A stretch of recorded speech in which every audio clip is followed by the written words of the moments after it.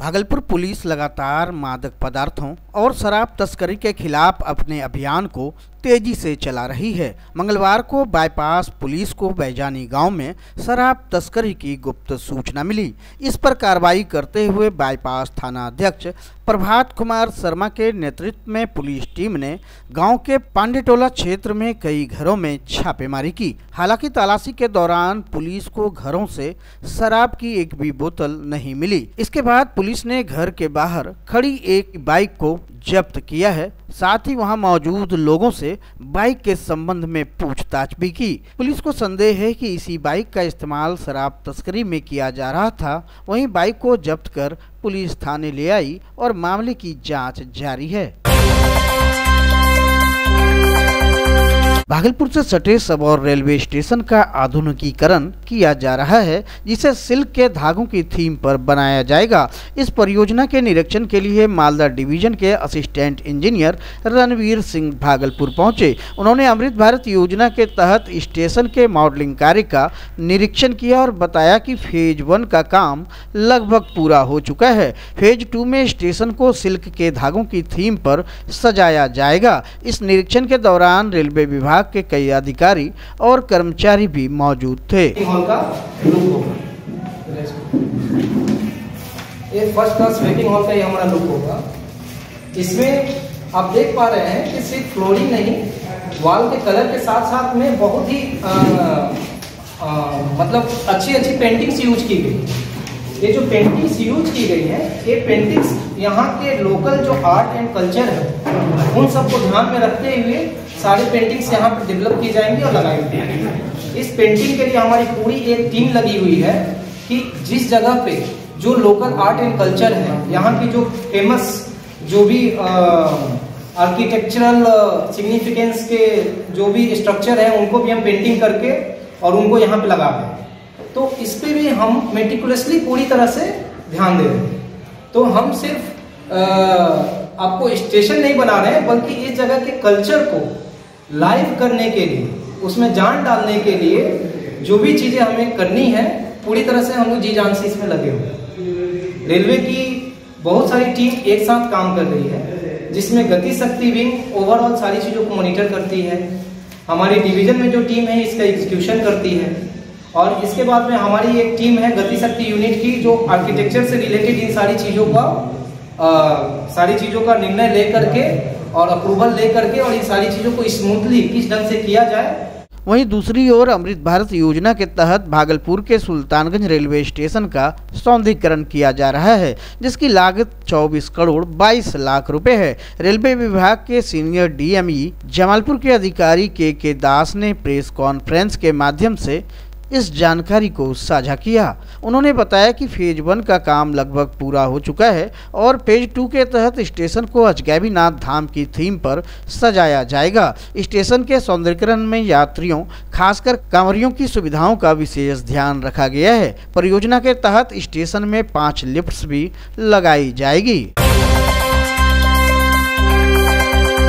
भागलपुर में बच्चों युवाओं और युवतियों को अपनी प्रतिभा दिखाने के लिए अब कहीं बाहर जाने की ज़रूरत नहीं पड़ेगी क्योंकि अंग प्रतिभा खोज सीज़न फोर का आयोजन होने जा रहा है। इस कार्यक्रम का ऑडिशन 25, 26 और 27 अक्टूबर को आयोजित किया जाएगा जबकि फाइनल मुकाबला 17 नवंबर को टाउन हॉल में होगा। भागलपुर के जावेद हबीब सैलून में आयोजित प्रेस वार्ता में कार्यक्रम की जानकारी दी गई। इसमें डांसिंग, पेंटिंग, सिंगिंग और मॉडलिंग जैसी प्रतियोगिताएँ होंगी। ऑडिशन में बेहतर प्रदर्शन करने वाले प्रतिभागियों को फाइनल मुकाबले के दौरान टाउन हॉल के मंच पर प्रदर्शन का मौका मिलेगा। ऑडिशन कार्यक्रम वीआईपी डांस स्टूडियो में आयोजित होगा और इसके लिए रजिस्ट्रेशन शुरू हो गया है। इच्छुक लोग जावेद हबीब सैलून में शुल्क के साथ रजिस्ट्रेशन फॉर्म प्राप्त कर सकते हैं। जावेद हबीब सैलून की संचालिका सुधा पांडे ने बताया कि इस तरह के कार्यक्रम से भागलपुर के प्रतिभाशाली लोगों को अपने घर में ही मेडल जीतने का अवसर मिलेगा। प्रेस वार्ता में अधिवक्ता पंकज कुमार लकी और जावेद हबीब मुंबई ब्रांच के एमडी अरविंद कुमार सहित कई लोग मौजूद थे। पहला चीज़ की यदि कोई प्लेटफॉर्म मिल रहा है उनको तो वो ज्वाइन करे और हमारे यहाँ भी फॉर्म रखा हुआ है उनका। और भी कहीं, और भी एक तो जगह भागलपुर में है, हमारे जावेद हबी प्रो में, कचहरी चौक पे आके ले। और उनके लिए मैं हमेशा करती हूँ। ये अभी ये स्टार्टिंग करीब मुझे चार साल हो गए। किसी न किसी फ़ील्ड में मैं जो जो भी करवाते हैं, अभी यंग प्रतिभा खोज हो रही है, इसको मैं स्पॉन्सर कर रही हूँ। और मैं चाहूँगी कि वो बच्चे आगे आएँ और बिना झिझक के वो अपना, वो करे स्टेज पे अपना, उनको मिला है मंच तो वो आके बेझिझक, वो डांस करे और उनका उससे क्या होगा कॉन्फिडेंस लेवल बढ़ेगा। और उसमें जावेद हबीब प्रो जो है, उनको पूरा सपोर्ट करेगा और जहाँ तक हो सकेगा, वो, मैं उनका पूरे बिहार से बच्चे आ रहे हैं हमारे यहाँ पे। अभी तो हमारे यहाँ से बहुत फॉर्म निकला है, लोकल भी आ रहे हैं, बाहर से भी आ रहे हैं, यहाँ से लेके जा रहे हैं। तो मैं यही माँ बाप से बोलूँगी, पेरेंट्स से बोलूँगी कि वो अपने बच्चों को आगे बढ़ाएँ, जो इंटरेस्टेड हैं इसमें, उनको डांस क्लास में भी भेजें और उसके बाद थोड़ा सा प्रैक्टिस घर में करवाएँ और एक प्लेटफॉर्म जो उनको मिल रहा है, उनको ज़रूर दें। भागलपुर बाईपास पर एक भीषण सड़क हादसे में बाइक सवार एक युवक की मौत हो गई, जबकि दूसरा युवक गंभीर रूप से घायल हो गया।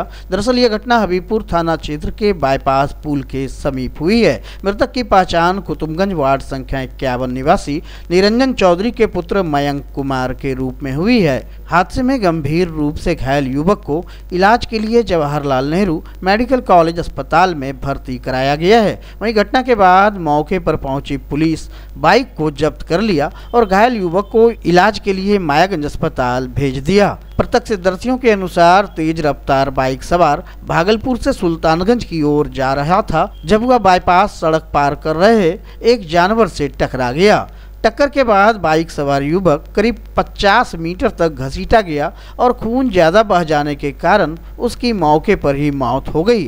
हादसे के बाद मयंक कुमार के परिजन मायागंज अस्पताल पहुँचे जहाँ उनका रो रो कर बुरा हाल है। फ़िलहाल पुलिस ने मामले की जाँच शुरू कर दी है। मार दी तो उसको दिया क्या आदमी था ये? हम्म? ये कितना आदमी था? ये दो आदमी था। एक ये मयंक यादव था। हाँ। ये मयंक चौधरी और तो इस क्या हुआ इसको? ये ये तो डेट कर गया। हुआ है सीरियस है क्या नाम है आपका? मेरा नाम हुआ राजीव चौधरी। आप कौन वेश का हम इनके चचा हुए चचेरे चचा। घर कहाँ पड़ता है? घर कुटुब पे। थाना कौन पड़ता है? थाना बगरगंज। जिला? जिला भागलपुर भागलपुर ज़िले के अमरपुर शंभुगंज मुख्य पथ पर रामपुर मोड़ के समीप मंगलवार सुबह हुए एक सड़क हादसे में बाइक चालक की घटना स्थल पर ही मौत हो गई। मृतक की पहचान बतकुंडी गाँव निवासी शशिकांत ठाकुर के पुत्र अंकित कुमार के रूप में हुई है। प्रत्यक्षदर्शियों के अनुसार अंकित तेज रफ्तार में बाइक चला रहा था और नियंत्रण खोकर एक दीवार से टकरा गया, जिससे उसकी मौके पर ही मौत हो गई। वहीं घटना की सूचना मिलते ही स्थानीय लोगों ने मृतक के परिजनों को जानकारी दी जिसके बाद परिजन तुरंत घटना स्थल पर पहुँचे और उनकी हालत देखकर कोहराम मच गया। अमरपुर थाना पुलिस भी मौके पर पहुँची और सबका पंचनामा कर पोस्टमार्टम के लिए बांका भेज दिया। इस दर्दनाक घटना से परिवार शोक में डूबा हुआ है और मृतक के चाचा दिवाकर ठाकुर ने घटना के बारे में जानकारी देते हुए शोक व्यक्त किया। दिवाकर ठाकुर। अच्छा। रोहिणी अपना क्या चले? भतीजा। नाम चले उनका? अंकित कुमार ठाकुर। कहाँ से आवे रहे कहाँ से ई तब भतकुंडी से चलवा चले ड्यूटी पकड़े वास्ते। की करे रहे काम? ये पेट्रोल पंप के ड्राइवरी करे छे गाड़ी चलाए छे सीएनजी पेट्रोल पंप के। कहाँ? पूर्णिया से भागलपुर। अच्छा। रात महीने दिन निकल? का निकलवा चले कि हमें ड्यूटी जा रहल छे।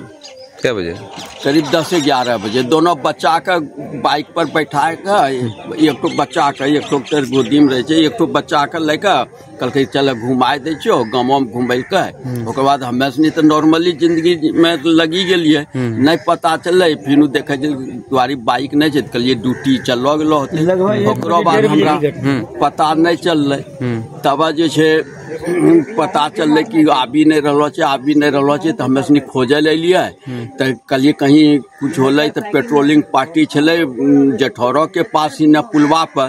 तो पूछलिए कि कोई एक्सीडेंट पड़लो चिल्ला कुछ होलो छै कि? अपनो जानते कोशिश कल कहलकै नहीं अभी तो कुछ नहीं होलो छै। अगल बगल गाँवों में भी जे मिललै चिल्का और मंझौनी इसनी में भी पता करने लिए कि ये रास्ता में कन्हा हुआ तो हमरा नहीं पता चल तभी पता चल कि आप रात में खोज रहे थे तो यहाँ पर रामपुर भरको के पास आ जाइए क्या भाई चले ने दू भाई। के नाम चले? गौतम कुमार ठाकुर और, और ई जे होले अंकित कुमार।